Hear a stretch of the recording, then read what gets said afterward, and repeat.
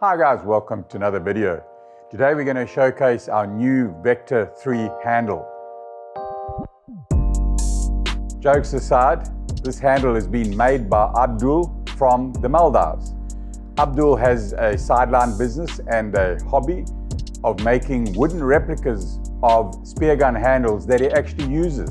You can follow him on his Instagram link and see the fish he shoots with these homemade guns.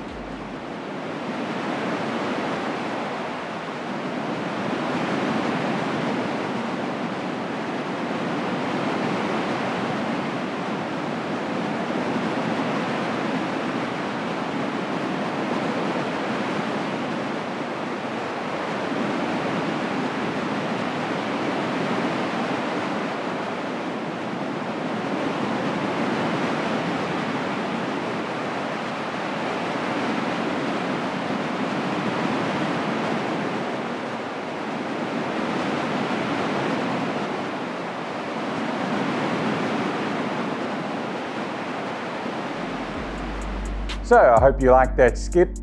Stand by for the next and like and subscribe as always.